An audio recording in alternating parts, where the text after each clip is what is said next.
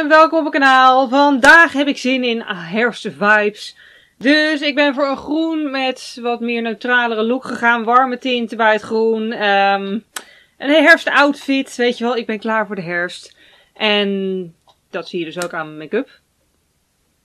Ja, dat is eigenlijk alles wat ik erover te melden heb van tevoren. Het is nog aardig draagbaar geworden, ondanks de donkere tinten. Um, laten we snel beginnen.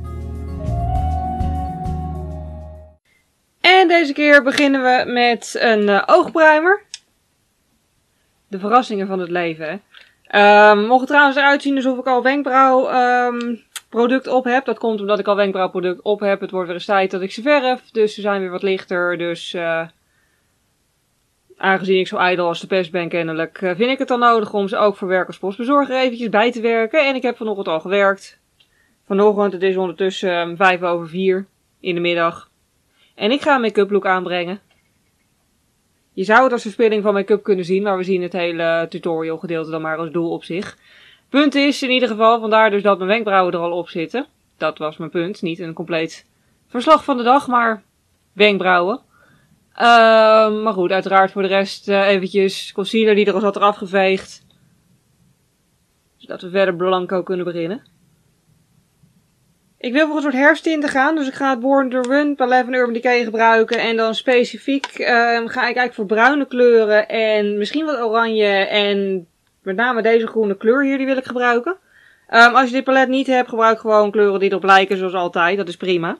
Ik begin in ieder geval eventjes met een uh, transitiekleurtje, gewoon om eventjes de primer te zetten en de crease alvast wat donkerder te maken.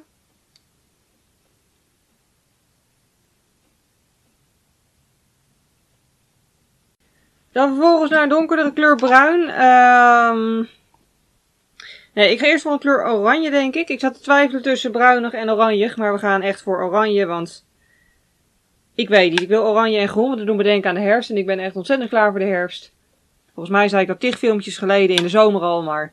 Ik ben altijd klaar voor de herfst, net zoals ik altijd klaar ben voor Halloween. Halloween. Geloof me, ik heb alweer uh, meer plannen dan ik in één Halloween voor elkaar kan krijgen qua tutorials. Zoals altijd. Maar goed, in ieder geval voor nu is er nog eventjes uh, begin van de herfst. Officieel begint hij de 21ste geloof ik pas, maar dat er zeiden. Aan de andere kant, vanaf ongeveer 1 september heb ik al mensen op uh, social media zien roepen: Het is herfst! Dus wat dat betreft is het maar net hoe je het bekijkt qua jaargetijden, maanden en dat soort dingen. Maar goed, in ieder geval, ik hou het maar op de 21ste pas de herfst. Want dan kan je er nog even naartoe genieten, weet je wel. Genieten van het naartoe leven naar de herfst. In plaats van dat je al gelijk in de herfst zit, want anders ben ik die ook weer te snel zat. Seizoenen duren bij mij altijd net iets te lang. Maar de herfst is wel mijn favoriet, want je hebt serieus laatst op een forum. Was er een topic.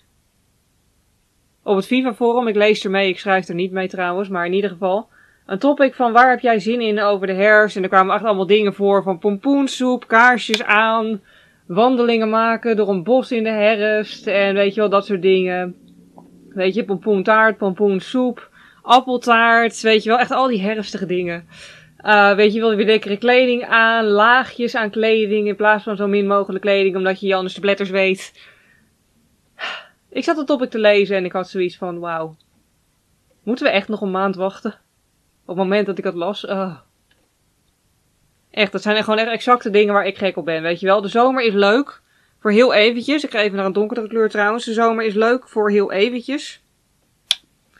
Maar ik ben het ook wat dat betreft al redelijk. Kleine kwastje ook trouwens. Had ik het al gezegd? Ik weet niet meer. Ik ben het in ieder geval ook wel redelijk snel zat, meestal de zomer. Want op zich, ja. ik ben geen strandtype, want ik hou niet van zwemmen en ik hou niet. Weet je, tenminste. Ik hou er niet van als mijn tattoo nat wordt, want dan spoelt namelijk de zonnebrandcrème eraf en dan kan die beschadigd raken door de zon, want daar ben ik paranoïde over. En ik hou er niet van als er water bij mijn... Waarom zit jij nu weer achter voren geklapt? Hoe dan ook. En ik hou er niet van als er water bij mijn piercings komt, want dadelijk raken ze nog geïrriteerd. En ik hou er ook niet van als het in mijn gezicht komt, want dadelijk krijg ik nog pukkels of zo. Ja, weet je, ik vind zwemmen best leuk. Ik wil alleen niet nat worden. Dat is meer mijn punt. Um, dus ja, ik ben geen strandtype. Nou ja, zonnebaden. Um, ik draag zelfs in de winter nog SPF 50 op mijn gezicht. Nou ja, SPF 30 op mijn gezicht dan. Het ligt eraan, als de 50 nog niet op is, dan blijf ik die gewoon gebruiken. Maar je snapt mijn punt. Ik ben geen type die van zonnebaden houdt ook. Dus wat dat betreft, de zomer is gewoon niet echt mijn seizoen, wat dat betreft. Het zijn echt, ja, weet je wel, een boek lezen in de achtertuin vind ik leuk. En dat is dan wel ongeveer alles. Terwijl, weet je, in de herfst, dat zijn echt, dat, dat echt gewoon het jaargetijden waar je echt gewoon perfect dingen kan doen. De dingen kan doen die ik leuk vind. Uh, dat is gewoon echt, wat dat betreft, ja, mijn favoriete jaargetijden. Laat het me weten trouwens als je ook echt gewoon een voorkeur voor een jaargetijde hebt. Welk jaargetijde vind jij het leukst? En waarom? Als je erover wil kletsen, doe het beneden in de opmerkingen. Ik ben benieuwd. Uh, ik vind persoonlijk altijd dat ieder seizoen wel wat leuks heeft. Alleen, ja, weet je, het is maar net gewoon, weet je... Ik pak trouwens wat oranje om wat verder te blenden. Maar het is maar net gewoon wat, wat jou persoonlijk het beste ligt, denk ik. Ook gewoon wat met jouw hobby's het beste matcht. Ik bedoel, als je bijvoorbeeld gek bent op watersport, dan kan ik me voorstellen dat je de zomer leuker vindt. Terwijl als je gek bent op sneeuwpoppen bouwen, ik me voor kan stellen dat je gaat immigreren. Daar hoeven we zelfs in de winter helaas in Nederland niet op te hopen. Dan eventjes een wenkbrauwbot highlight. Die gaat deze keer in een hele lichte shimmery kleur, want in dit palet zit namelijk geen niet shimmery highlight kleur. En ik vind het wel zo makkelijk om één palet te blijven gebruiken. En dan terug in de grote fluffy blender zonder extra product en daarmee ga ik de rand zelf even uitblenden. Zoals gewoonlijk, als je die methode gebruikt, breng dan je wenkbrauwbot highlighter lekker dik aan, zodat je gewoon een goed product hebt om mee uh, te blenden. Dan het bewegend ooglid. Daarvoor ga ik... Um, ik denk trouwens dat ik eerst voor een turquoise-achtig kleurtje ga, omdat die lichter is. Ja, ik geef voor een turquoise-achtig kleurtje, omdat die lichter is. Want ik wil mijn binnenste oog ook niet al te donker hebben. En die breng ik nog redelijk gelokaliseerd aan. Uh, niet echt in een cut crease-achtige vorm. Maar wel zodat er duidelijke definitie zit van waar die begint. Want ik wil hem niet in die binnenste ooghoek uh, naar boven toe blenden. En dan als we ongeveer op de helft zijn, dan ga ik door naar die donkere kleur. Beetje mosgroen, dennenboomgroen. Er zit een beetje gouden shimmers in. Het is een mooi kleurtje wat ik volgens mij nog nooit echt gewaardeerd heb. Maar laatst, ik weet niet meer waar, volgens mij op meerdere media om de een of andere reden. Op Twitter, op YouTube, op heel veel dingen waren er heel veel mensen die inderdaad de kleur groen, de minst mooie kleur, blijken te vinden. En toen bedacht ik me, hmm, ik gebruik inderdaad, ik heb niks tegen groen, maar ik gebruik het inderdaad ook niet heel vaak. Dus vandaar dat ik zoiets had van, we maken vandaag eventjes een um, appreciation filmpje voor de kleur groen. Met een groene ooghoek. Um, in de buitenste ooghoek ga ik nog eventjes met dit blendertje. En dan een zwarte shimmerkleur. Ik wil die buitenste ogen ook echt heel donker hebben. En dan hebben we dat. En dan is ondertussen de productel van het kwastje af. Oké, niet zo ver als wat ik dacht. in ieder geval, wat dan ook nog op het kwastje zit nadat ik hem heb afgeveegd. Dat ga ik in de crease blenden, zodat die kleur daadwerkelijk een overloop heeft en niet gewoon ineens random ergens stopt. De buiten deze manier wordt de crease nog net even wat dieper, want nog net even wat meer, vind ik, die herfstvibes geeft donker en vampy. Ik heb echt twijfels of ik hier een eyeliner bij wil doen of niet. Ik denk het wel eigenlijk. Wil ik het echt?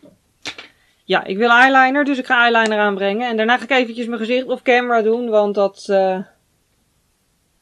Ik weet niet, ik let zo'n hoop dat meestal een filmpje wel lang genoeg is met alleen de ooglook.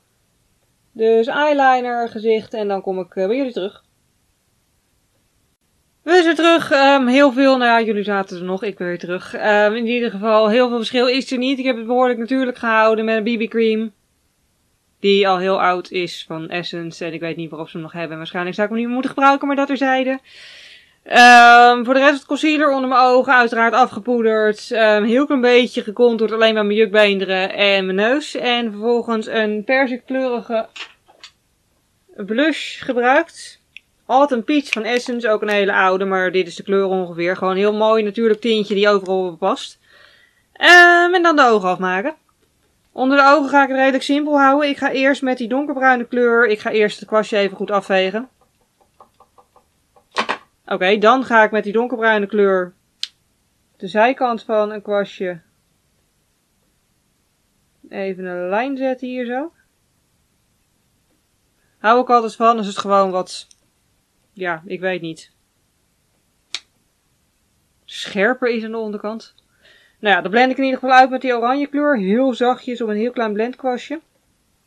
Oh, tussen haakjes, uh, nog vergeten te zeggen net, toen ik het over mijn gezicht had verder. Uh, mijn highlighter is trouwens een heel licht goudkleurtje. Niet al te heavy. Want waarschijnlijk met die BB cream word ik toch wel vettig. Maar in ieder geval wel een mooie warme tint die vind ik ook ja, bij ieder jaargetijde mooi past. Is er eentje van uh, Kiko. Alles wat ik gebruik staat weer onder het filmpje. Maar het is een van mijn favorieten in ieder geval. Zo, we dat. En dan vervolgens een oogpotlood. Die ga ik in het turquoise kleurtje doen. Ik wil nog steeds een groene kopen, maar dat vergeet ik steeds. Dus dat komt nog wel een keertje. Ooit, op een dag. Over een jaar of tien. En uiteraard ben ik weer een stap vergeten. Mijn wenkbrauwbot highlighter gaat ook even in de binnenste ooghoek, want ik ben gewoon de highlighter vergeten. Dan wimpers. Ik wil wel voor valse wimpers gaan, want daar heb ik zin in. Is uiteraard nooit verplicht, maar ik ga in ieder geval voor de Soulmate van Exo Beauty. Die zijn behoorlijk natuurlijk. En ik heb eindelijk een nieuw paardje gepakt, want de vorige die waren serieus de hele lesbeet was verkreukeld. Dus ja, deze gaan weer makkelijker worden om te appliceren.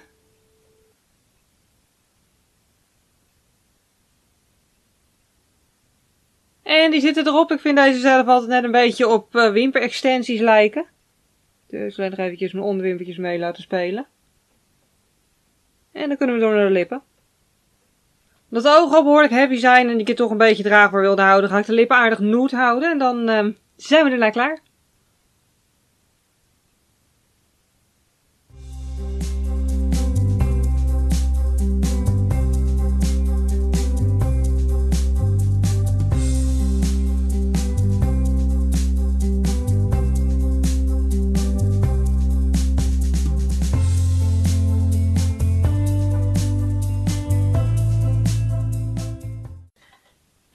Uiteindelijke resultaat. Um, ik hoop dat jullie het leuk vonden om te kijken. Als je dit filmpje leuk vond, klik dan alsjeblieft de like button. Zou me heel erg helpen. En als je meer filmpjes wil zien, voornamelijk make-up tutorials, dan kun je altijd abonneren op mijn kanaal. Uh, voor nu in ieder geval heel erg bedankt voor het kijken van dit filmpje. Uh, ik hoop dat jullie weer een hele fijne dag hebben. En hopelijk tot de volgende keer. Doei!